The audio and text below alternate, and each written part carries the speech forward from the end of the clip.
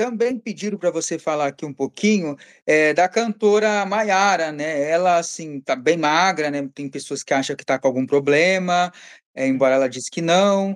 Eh, esse final de semana ela estava fazendo uns uns gestos, assim, estranho no palco, né, parecia que estava fora de si, não sei se era se era realmente isso, se era efeito de bebida. Que que você vê sobre ela? Ela simplesmente tá se afundando sozinha, né, ela tá se se afundando sozinha, e algumas coisas que estão acontecendo nela, é, ela tem a parte espiritual e tem a parte material. Eu acho que ela mexeu muito na parte material dela e, como a a gente diz: "Olhar e vigiar". Ela não cuidou da da outra parte, então, realmente teve efeito de algum como que eu posso dizer? Alguma coisa que deixou ela daquele jeito doidona, pode ser é a bebida? Foi bebida sim. Uhum, Tá? entendi. Então a questão dela é é tem que cuidar da espiritualidade, seria isso? Do dos 2 lados, ela tem que procurar realmente um um médico, fazer realmente tudo aquilo. Eu sei que ela tá procurando cuidar bastante da saúde, mas às vezes o emocional dela tá abalado, entendeu? E Uhum. o o emocional abalado